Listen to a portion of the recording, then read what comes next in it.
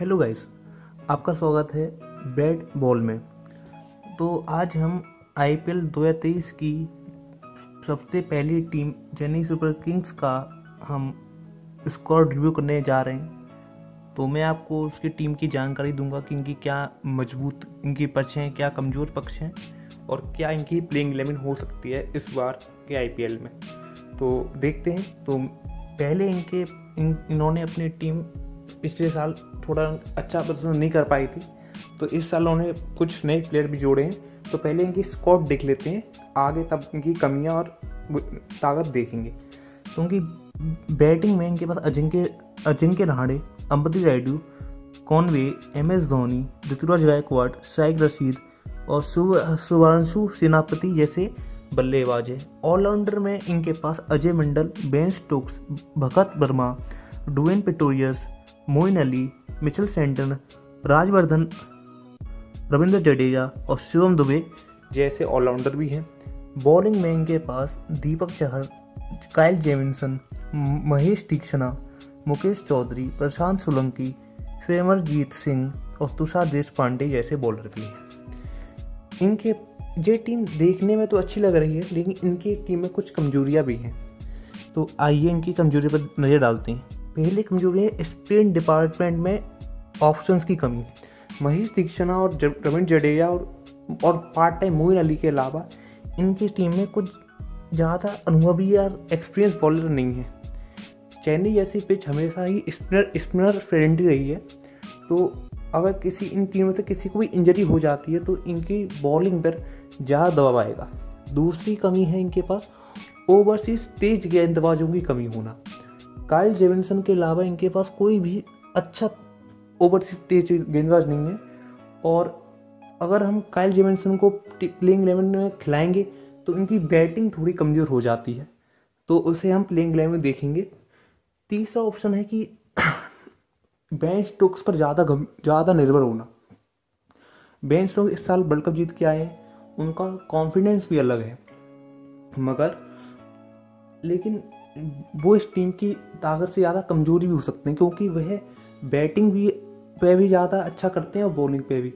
और अगर उन्होंने इनमें से किसी में भी वो ख़राब करते हैं तो इनकी टीम पे ज़्यादा असर पड़ेगा।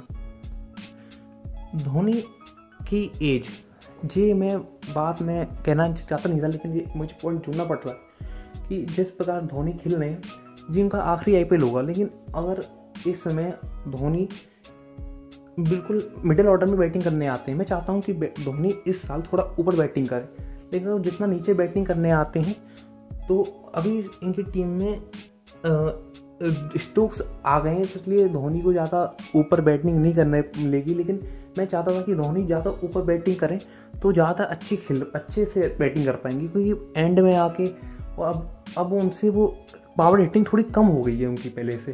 आ, आती आते उन्हें थोड़ा टाइम लेके वो बैटिंग करते हैं और तब वो हिट लगाते हैं। तो ये भी कमज़ोरी है पर आइए इनकी ताकत पे भी नज़र डालते हैं कि स्ट्रॉन्ग स्ट्रॉन्ग पॉइंट्स पे।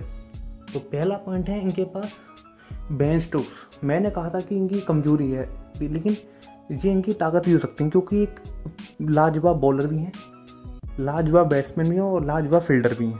ये थ्री इन वन है।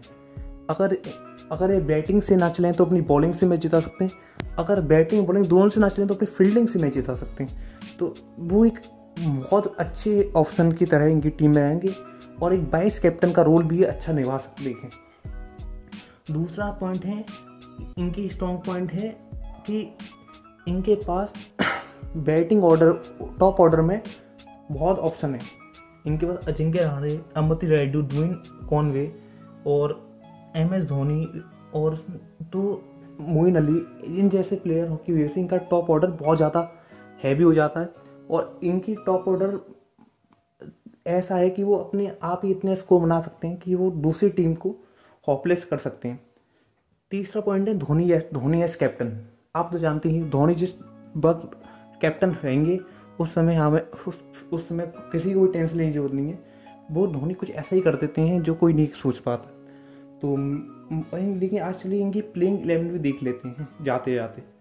प्लेइंग इलेवन मेरे हिसाब से Ruturaj Gaikwad Conway Moeen Ali, Ambati Rayudu Ben Stokes M S Dhoni, Ravindra Jadeja, Shivam Dube, Maheesh Theekshana, Deepak Chahar, Mukesh Choudhary होगी अगर अगर मैं काइल जैक्सन जैमिनसन को खिलाऊँगा तो मुझे इनके टॉप ऑर्डर का एक प्लेयर कम करना पड़ेगा। तो जी, मुझे क्योंकि क्योंकि महेश दीक्षणा को तो मैं खिलाना ही चाहूँगा, क्योंकि वही अच्छे स्पिनर हैं जो इस टीम चेन्नई की पिच का लुफ्त उठा सकते हैं। लेकिन अगर मैं मोइन अली को उठा, हटा देता हूँ काइल जेमिक्सन किया तो स्पिन स्पिन की कमी हो जाएगी टीम में। तो वो नहीं, इसलिए मैं कायल जेमसन को अभी तो नहीं खिलाऊँगा शुरुआत के मैचों में। तो ये मेरा टीम है, और अगर आपको इसमें से कोई पॉइंट अच्छा लगा या कोई पॉइंट बुरा लगा तो अपना कमेंट में आप बता सकते हैं।